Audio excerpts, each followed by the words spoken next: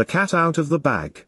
Containing the whole secrets and mysteries of Freemasonry never before divulged. In addition to the secrets of an entered apprentice, fellow craft, and master mason. Those of a Royal Arch and Knight Templar, are fully disclosed, together with scriptural and other reasons for the forms of initiation. Also an appendix containing two Masonic songs and the secrets of Druidism, never before published. The whole illustrated with appropriate engravings. By Brothers Runt and Pitcher, Master Masons and Knight Templars. Runt. As you are now, Brother Pitcher, within the walls of this just, lawful, and warranted lodge, I have to inform you, that to you there is no retreating until I have initiated you into all the mysteries of the first degree of ancient Freemasonry. Masonry is a science, containing many valuable secrets, which have been hailed with rapture by the most enlightened men of every age and nation, kings, princes, and the potentates of the earth have received its mysteries, and thought it no degradation to change the scepter for the trowel. Previous to your being initiated into the mysteries of Freemasonry, it is my duty to inform you that you must enter into a solemn obligation to keep sacred and inviolable all the secrets of our order, after which, I shall proceed to instruct you in those hidden branches of science which have remained unknown, but to Masons, from the foundation of the world, at the same time, I must inform you, that justice, honor, and mercy are the principal characteristics of our order. And should you never disgrace Freemasonry, Freemasonry will never disgrace you. The first step in Masonry, figure I plate 1. Runt. You will have the goodness, brother Pitcher, to strip stark naked, like our first parents in paradise, and, with the square in one hand and the compasses in the other, approach to me as a mason, that is place your one leg at right angles to the other, with your arms extended, holding the square and compasses, and spin yourself three times round upon your left heel, keeping your body perfectly erect, Having stood motionless for three minutes, you will please to hop three times round the room. And three times over a stool, with your arms and legs in the same position, and repeating three times the words Stultus Hocus Pocus, Hocus Pocus Stultus. On uttering these mystical words, the peals of thunder begin to roll, and flashes of lightning are seen to dart at a distance. From behind the curtain the hideous form of his satiric majesty, dignified with orass and cloven feet, utters hollow groans, to the terror and astonishment of the trembling candidate, who, at this crisis, affords considerable sport to the waggish part of the already initiated. To comply with the forms of antiquity, prevalent in our order, you must now, brother Pitcher, patiently submit to the operation of the scalping knife, like the male children of the Jews, eight days after birth, to prevent the effusion of human blood, your wounds shall be seared three times with the salamander, or lodge poker, carefully heated to a high temperature, after which, you may be pronounced duly initiated. This last part of the ceremony being of a delicate and dangerous nature, it is generally performed by a son of Aesculapius. Should there be one present, otherwise the master must operate with the best of his skill. Envy the above, brother Pitcher, is a sound reason why females are excluded from participating in our Masonic mysteries. Runt. Having gone thus far through the ceremony of your initiation, I have now to inform you, brother Pitcher, that there are different degrees in Freemasonry, kept separate and apart from each other, and that there are secrets peculiar to each degree. The sign of an entered apprentice is performed by drawing the little finger of the left hand across the mouth, and the word is Shadrach, which shall be hereafter explained to you, suffice it to say. That it is a word highly prized among Masons as a guard to their privileges, therefore, too much caution cannot be used in communicating it, and before you can be admitted into any lodge you must repeat the word Shadrach three times at the door, and place yourself exactly in the first position, and the master, upon hearing the word Shadrach, will leave his chair and admit in due form. Runt. I must now, brother Pitcher, explain to you a few of the reasons why we Masons are attached to the number three, and for which it has always been held sacred by the craft, many of which prove the high antiquity of our order. Reasons. Because it is an odd number, consisting of a beginning, a middle, and an end. In Masonry it represents the three different degrees, viz. An entered apprentice, a fellow craft, and a master mason, it also represents the principal officers, the master and his two wardens.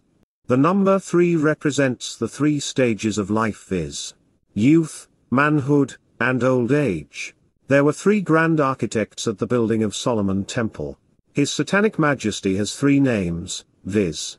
The devil, Satan, and Beelzebub, He is sometimes also denominated the old gentleman, Nick, and Clutie. In conversation there are three things, the person speaking, the person spoken to, and the person or thing spoken of. In a phrase are three things, the subject, the attribute, and the object. Among the Jews the priests sprinkled the altar three times previous to the sacrifice. The Sabians prayed three times a day. In the Salian dance they beat the ground three times with the feet. Mythological reasons. Runt. We Masons, Brother Pitcher, are attached to the number three for the following mythological reasons, from which we claim great antiquity. Jupiter's thunderbolt had three forks. Neptune's trident had three prongs. Pluto's dog, Cerberus, vile brute, had three heads. There were three Furies, three Parcae, three Graces, and three times three or nine Muses. The Pythian priestess sat upon a tripod, the three legs of which denoted a knowledge of the past, the present, and the future. These are all solid and rational reasons, brother Pitcher, that you should jump three times over a stool, as every other brother and fellow has done before you. The Entered Apprentice. Parting Song by Brother Runt. Tane Jonti Hazar, or the Kinnegad Slashers. 1. A mason's a fellow. That likes to be mellow. He'll push round the bottle. And drink till it's done. We oft meet together. In all kinds of weather. To handle the trowel. And relish the fun. 2. The maids of the village. And farmer, from tillage. Oft talk of the mystic. And wish for to know. But all are small matter. We manage much better. Than to the wide world unpaid for to go. 3. The jewel and collar. Sometimes on the scholar. Make things have the color of something profound. A ball or procession oft makes an impression and brings an apprentice hard fast to be bound. 4. In the hour of vexation, we join in libation with Venus and Bacchus. We swagger till day, the money we'll borrow to drown or kill sorrow. Like Bebo, we tipple, and moisten our clay. 5. When the cash is expended, our frolics quite ended, we join hands together, and then march away. We'll hunt for another, and call him dear brother, because for the grog, and the liquor he'll pay. The second step in masonry, figure 2. Plate 1. Runt. This step, brother Pitcher, is much superior to the former, but nothing to that which you shall hereafter be instructed in, you must strip stark naked, like your grandmother, Eve, with only an apron, and, as before, keep your body perfectly erect and place your left leg at right angles to your right, holding in your hands the sun and moon with the seven stars over your head, indicating your immortality you will next spin yourself five times round upon your heel without letting down your right leg, then remain motionless for the space of 5 minutes, after which you must hop 5 times round the room. And jump 5 times over a stool, repeating the memorable words in hoc signo vinco, for the following sound reasons. First, because 5% is the legal interest of money.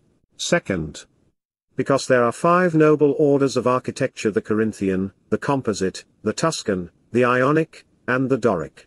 Third, because we have five natural senses seeing, hearing, smelling, feeling, and taste, with many other sound reasons hereafter to be instructed in. The word of a fellow craft mason is Meshech or meshek, which shall be hereafter explained when you are admitted into the third degree. Repeat it aloud, for the benefit of the brethren, and remember, that it is a word highly prized among masons, therefore, too much caution cannot be used in keeping it, you must strictly observe never to repeat it even to yourself, excepting in the presence of five or more fellow craft masons or brother meshechs. And the sign is, to draw your little finger adroitly along your chin. The third step in masonry, Fig. 3. Plate 1. Runt. I shall now, brother Pitcher, proceed to initiate you into all the mysteries of the third degree of Freemasonry. It is much superior to the two former and consequently of much greater importance. Being reduced to a state of nudity, with the exception of anapron, you will have the goodness, first, to cross the one leg at right angles to the other, because all straight lines, right angles and perpendiculars, are true and proper signs in masonry.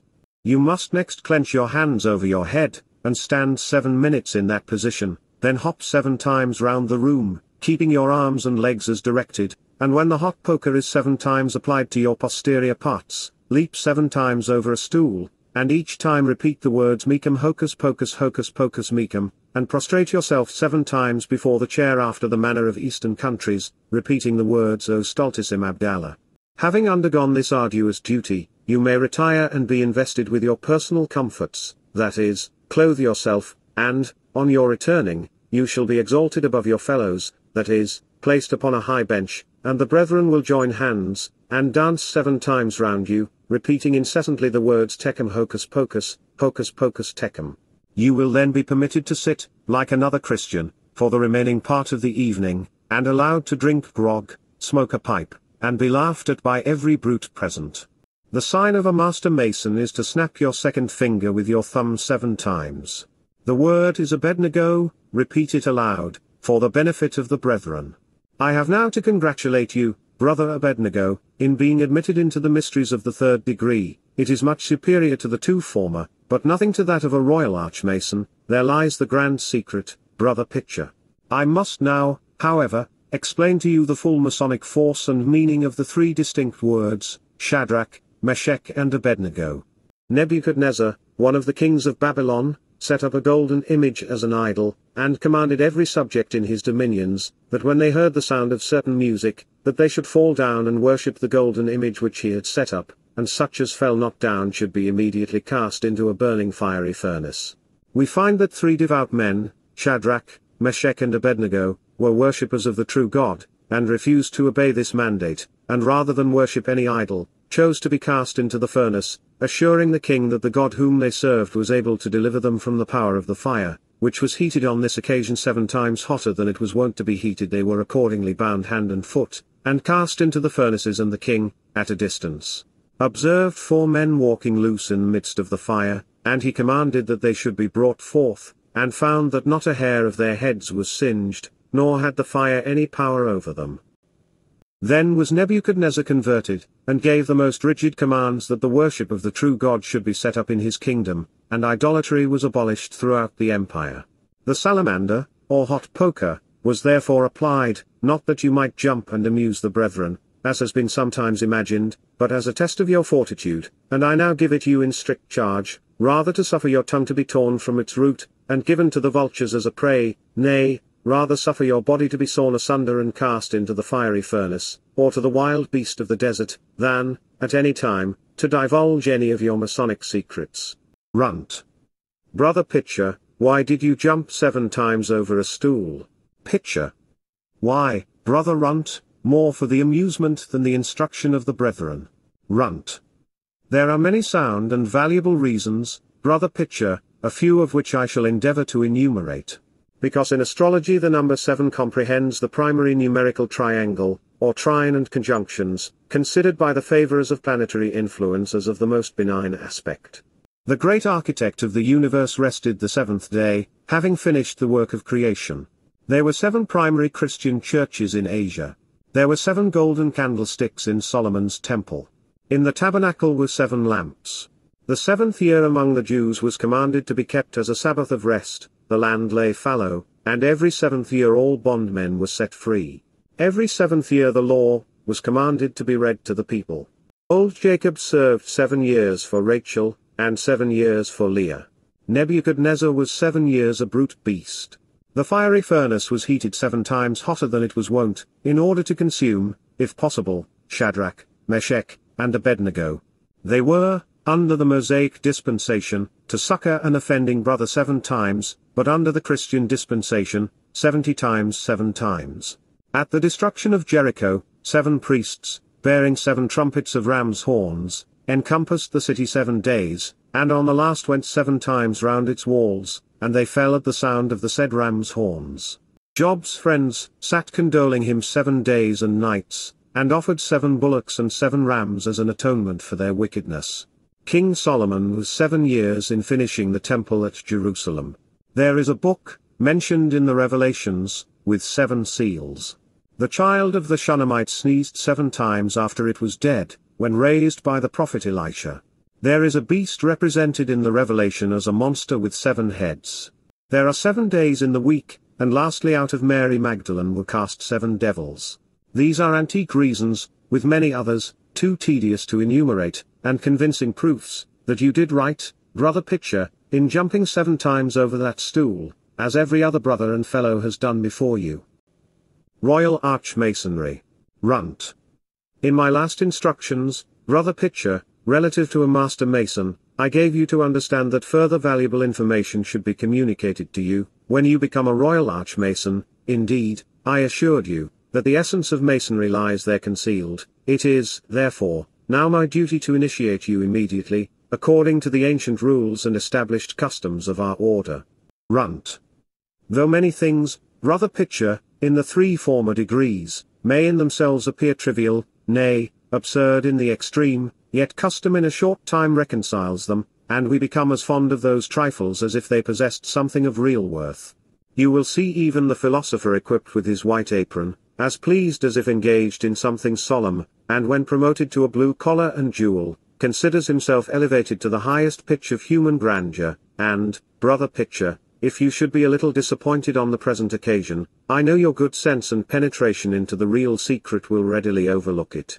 You are well aware that in all orders and distinctions among men, there must be some stimulus given, and if we Masons, brother Pitcher, were not to buoy up an entered apprentice with the hope of a future secret, there would be few indeed, who would pay the fees for Royal Archmasonry, and we all know that money is the mainstay of our order, money, brother Pitcher, speaks all languages, it is the grand cement of every order, in it alone are the sinews of war. And without it the social order of things would be reversed, without money, brother, Pitcher, the most brilliant talents have no luster, and with it the braying of an ass is accounted sweet music, I trust, brother, Pitcher, you will not in any way consider me personal, look at different opulent individuals in our own town, who are looked up to as the standard of true wisdom, divest them of their money, and they would sink in importance below the meanest mechanic. In our order, brother Pitcher, it is absolutely necessary to be expert with the salamander, and to be profoundly acquainted with all the cant phrases of the craft, so as to be able to keep up a plausible story, in order to divest the mind of the candidate from the faculty of reflection, for should he ever, by any unlucky accident, attempt to put it to the test of common sense, before he passes the arch, our funds would suffer, and the whole fabric would soon dwindle to nothing. But now to return to the subject matter in hand. You must again strip stark naked, with the exception of an apron, and hobble all fours seven times round the room, that is, walk upon your hands and feet, representing our grand progenitor, Nebuchadnezzar, who, as I before observed, was driven from among men, as you are this day, and his dwelling was with the beast of the field, and he did eat grass like an ox, his body was wet with the dew of heaven, his hair became like eagle's feathers, and his nails like bird's claws, and a man's heart was taken from him, and a beast's heart was given him, and he was in this sad condition for seven years, till his reason returned to him, when he was shorn, washed, and anointed king, and his counselors and lords sought after him, so that he was restored to his former greatness, with a due sense of his duty to the only true God. Thus, in addition to an apron, you are furnished with a feather cap, to represent the eagle's feathers, and a pair of gloves, with horn points, to represent bird's claws, you are then sprinkled over seven times with rain water, and a little grass being placed before you, you are compelled to eat. You must express your gratitude to the brethren, who have condescended to raise you from among the swinish multitude, or beasts of the field, with whom you have herded for the former part of your life, and placed you among an exalted race of beings with Zerubbabel, Haggai, and Nathan in point of importance. You are then compelled to sit cross-legged, after the manner of eastern countries, for seven minutes, then one of the chiefs, denominated Beelzebub, conducts you through an arch, with a chain round your leg, and hails you king of Babylon. Then the leading men of the city do you homage, informing you, that you are no longer a brute beast, that you are now an exalted individual among nations, a king of the most famous city Babylon. Hail, King Nebuchadnezzar, seven times. Then the poor devil, whoever he may be, is quite amazed, and sometimes enraptured with this metamorphosis, and some illiterate beings have been of little use to their families for weeks, after being crammed in this manner, even in their sleep, exclaiming I am now no longer a beast, I am a king to the no small amusement of all around them. It is recorded that one poor industrious individual became so riveted to the belief of his being a king, that he forsook his wonted avocations, became actually stark mad, and could never afterwards be kept quiet, but when equipped with the feather cap and the horn-pointed gloves, and running all fours, forgetting that he was no longer a beast. After all this torn foolery, you are gravely told that the word of a royal archmason is Nebuchadnezzar, and that it is a word highly prized among archmasons, as a guard to their privileges, therefore, too much caution cannot be used in communicating it, remember, it must never be repeated, even by yourself, but in the presence of seven chiefs or Nebuchadnezzars, and then you must be all equipped as before described. In being admitted into a chapter, you must cross your legs as in the third degree, knock seven times at the door, and repeat, seven times, the words, O Nebuchadnezzar, live forever. Then the presiding king, solemnly, and with a long face, exclaims, Let brother Nebuchadnezzar be admitted in due form. Then, in the third position, and with your hands crossed behind your back, you must judge your distance from the door to the chair, and take seven leaps then bowing respectfully to the king, you will be permitted to sit down, but recollect, should you not take your distance so as to leap it exactly at seven times, you must repeat the dose till it operates. A Royal Arch Parting Song, by Brother Pitcher. Eveleen's Bower. 1. When a mason I became, for to raise my deeds of fame, I got quite drunk with grog. At our parting, oh, with a 24-inch gauge. They quite put me in a rage. Till I swore 'twas all my eye. And Betty Martin oh. Chorus. With a 24-inch gauge. 2. When my apprenticeship was done. I oft went to share the fun. And whilst the secret truths were imparting oh. With a level, square and plumb. They tried me still to hum. But I saw 'twas all my eye. And Betty Martin oh. Chorus. With a level, square and plumb. 3. When a master I was raised. As the thing was highly praised. I thought it might be something. On sweethearting oh. But if Solomon had sense. He must show it somewhere hence. For in this it's all my eye. And Betty Martin oh. Chorus. But if Solomon had sense. 4. When a royal arch you're made. With a crowbar, pick and spade you'll still no wiser be than at starting oh. They'll place you on a stool, and dance round you like a fool. Thus the secret's all my eye. And Betty Martin oh. Chorus. They'll place you on a stool. Knight Templar. Runt. The next thing, Brother Pitcher, is a Knight Templar, which of itself, may be said to be no degree in Freemasonry, but as most Royal Archmasons wish to be in an encampment, it is now my duty, brother Pitcher, to let you into that secret also. In the first place you must dance to the tune of five pounds five shillings, recollect, money is the grand cement of every order. This being handed over to the proper quarter, all the members repair to the lodge room, and arrange themselves in the form of a camp, and the king of the party, as there must always be a cock to a dunghill, after a long silence, exclaims, Who will go up with me to Ramoth Gilead to battle? When they all with one simultaneous voice exclaim, We will go up with thee, O king, to Ramoth Gilead.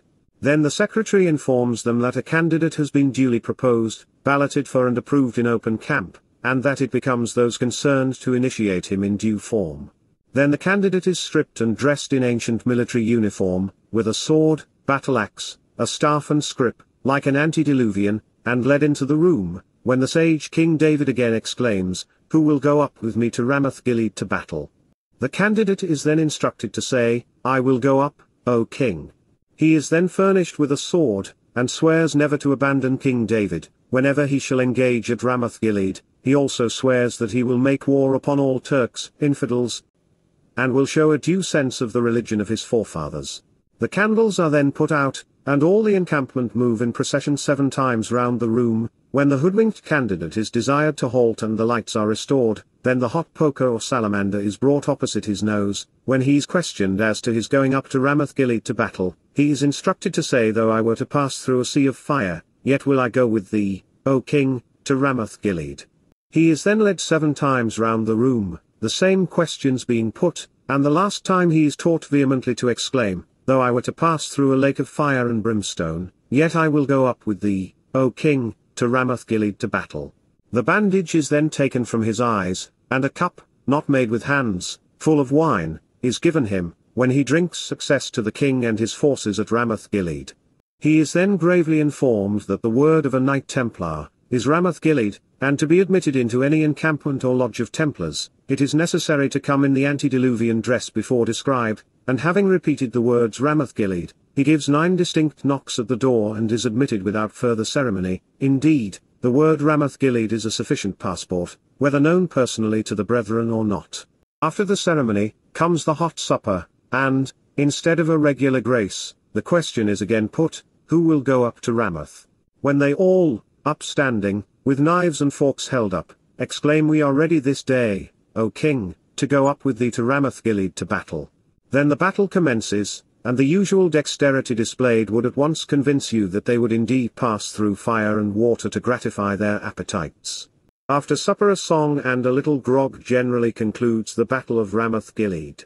Thus are you led from one degree to another in search of a secret of real value, but about this stage of the business a full stand is generally made, and the poor devil begins either to be gulled with the apparent sociability exhibited, disgusted with its frivolosity, or enraged for the loss of money expended from time to time upon such profound nonsense, and sometimes, upon taking a retrospect view, considers it almost blasphemy to hear so many parts of Scripture, twisted to a meaning which no translation can admit.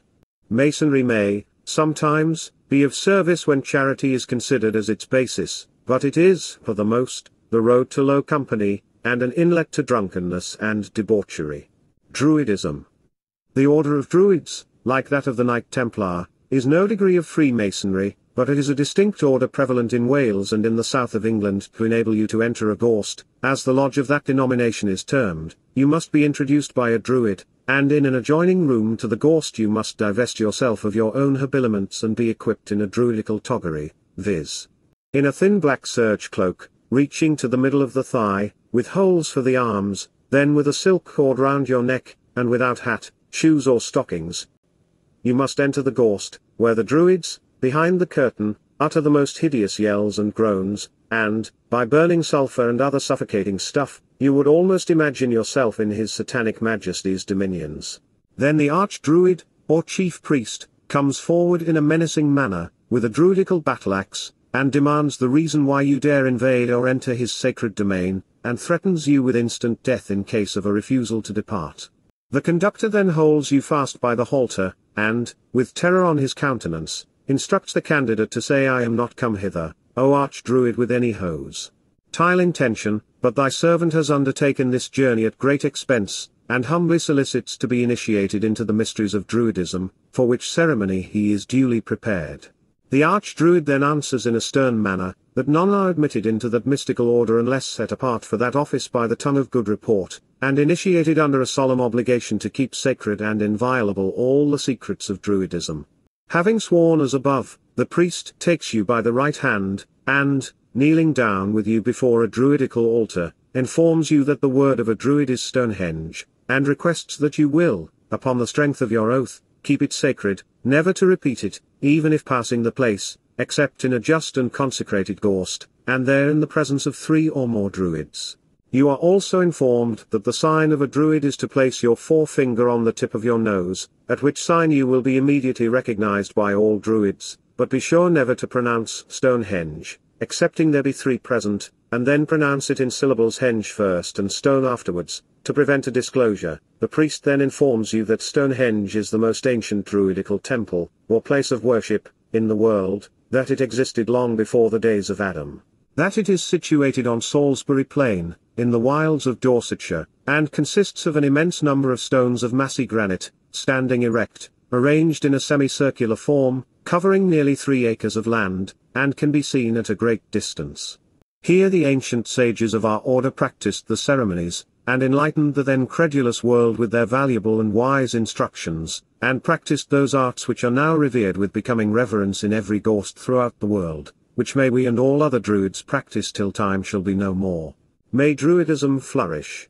After this you are led by the high priest round the Gorst, and, taking each brother by the hand, you repeat the word Stonehenge three times, you may then take your place and ask what questions you please but you will receive no answer as to what the Druids of antiquity taught and practiced, it is all comprised in the single but valuable word Stonehenge. Authentic History of the Ancient Druids The Druids were the priests of the ancient Britons among whom they possessed great authority, and were held in the highest veneration, not only by the Britons, but by other Celtic nations. Indeed their sway was unlimited, as they were supposed to have the power of inflicting punishment, not only in this world, but in a future state. Their forms of worship are entirely lost, as they were never allowed to be written, but they are said to have instructed mankind in astronomy and other branches of philosophy, unmixed with the superstition and the barbarity of the age. The Druids were divided into three classes, the poets and heroic historians, the sacred musicians, and the prophets, and the last class was the most numerous, and strictly called, Druids, which in time, was a name common to the three classes. Females were also admitted to the priesthood, and called Druidesses. These were divided into three classes, the first lived together in retirement, and were bound by vows to perpetual virginity, and were held in great veneration from their possessing the powers of divination, prophecy, and working miracles. The second class were married women, who assisted the Druids in their offices of religion, and occasionally saw their husbands, and the third class performed the menial offices about the temples. No doubt, from motives of policy, Freemasons will universally deny that the foregoing contains any of the secrets of Masonry, but, upon its being put to the test, it will be found perfectly erect, and, upon repeating any of the highly prized words, you will soon see, from a peculiar something in his manner, that he stands convicted under a true bill. End of the first number.